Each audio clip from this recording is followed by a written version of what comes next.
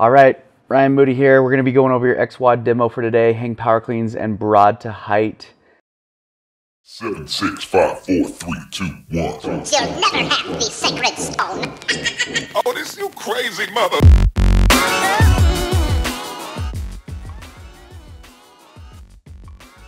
All right, let's see what he's got. So we're going to be going over hang power cleans.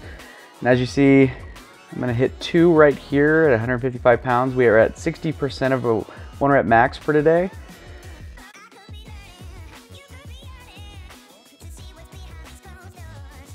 And you notice I hit the two and then I go right into or immediately into my two broad to height. Notice when I land, I immediately go up, there's no pause, and I try to land back in the same spot I hit from the broad jump. Now we're gonna go to my rest. I'm gonna speed it up just a little bit so we can cut out some of the time.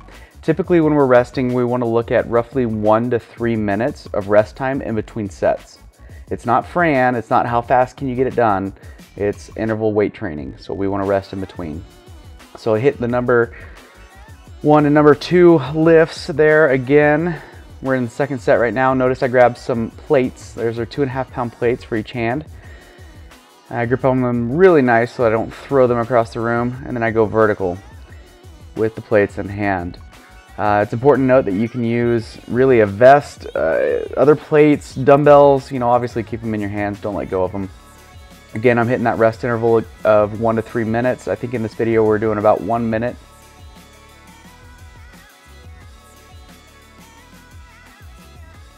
Again, one and two for the hang power cleans bar goes down, and immediately into the explosive movement. And it's important to note that whenever we do the XWOD, you hit your lift and try to immediately go into your explosive movement.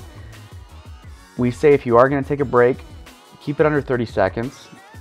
We, we have, we're trying to elicit a really strong stimulus here in the body, and we're trying to train the central nervous system to react under pressure, both physically and mentally shaking it out, getting ready to go again into the next set. When we do percentages, as you do for this very first one at all levels, we all do the hang power clean and broad to height for all levels um, to start out the XWOD programming. But when you're doing percentages, the idea is to do it for speed and efficiency, not just do it to do it. You want to be very efficient in your movement and you want the movement patterns to look really quick. Now, if you notice on that last jump, I came out a bit far after I jumped vertical. We call that travel. You want to try to land in the same spot when you hit the broad jump and then go vertical. You don't want to get closer to the bar, if you will, in this video. All right. This looks to be the last set, I believe.